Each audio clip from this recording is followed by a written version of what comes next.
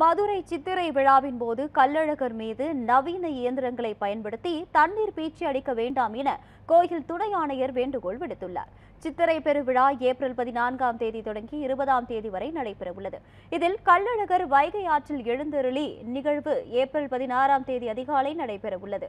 இது குறித்து செய்தியாளர்களை சந்தித்த கோவில் துணை ஆணையர் அனிதா கள்ளழகர் புறப்பாடு எதிர்ச்சேவையின் போது அழகர் எங்கு உள்ளார் என்பதை மதுரை காவலன் மொபைல் ஆப் வழியாகவும் கோவில் இணையதளம் வழியாகவும் அறிந்து கொள்ள ஏற்பாடு செய்யப்பட்டுள்ளதாக தெரிவித்தார்.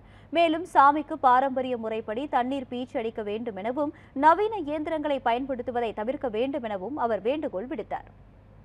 தண்ணி பீச்சுறதுங்கிறது வந்து இந்த காலில் நம்ம பழங்கால ஒரு பழங் ரொம்ப வருஷமாவே நூறாண்டுகளுக்கு மேல இருந்தே இது ஒரு பாரம்பரிய சம்பிரதாயமா இன்னொன்று நேர்த்திக்கடனாக நடக்குது நேர்த்திக்கடனாக நடக்கிறது. இது வந்து நம்ம அந்த அந்த தோல் பையில் வச்சு தான் பீச்சுவாங்க. இந்த மாதிரி செயற்கையாக அந்த பம்பு வச்சு பீச்சுறது வந்து கொஞ்சம் ஃபோர்ஸாக தான் இருக்குது. வே- நம்ம போ நம்ம காவல்துறையில் வேணால் அது சம்மந்தமாக கொடுத்து அந்த மாதிரி பீசுகிறவங்கள அனுமதிக்க வேணான்னு வேணால் நம்ம ஒரு நியூஸ் கொடுத்து நம்ம பாரம்பரிய முறைப்படியே செய்யுங்கன்னு சொல்லி பொதுமக்களுக்கு ஒரு அறிவிப்பு வேணாலும் கொடுத்துடலாம். சித்திரை திருவிழா தொடர்பான நிகழ்வுகளை நியூஸ் செவன் தமிழ் நேயர்களுக்காக நேரலையில் பிரத்யேகமாக வழங்குகிறது. வரும் பதினாறாம் தேதி வரை நியூஸ் செவன் தமிழ் மற்றும் நியூஸ் செவன் தமிழ் பக்தி யூடியூப் சேனலில் இந்த நிகழ்வுகளை நேரலையாக பார்க்க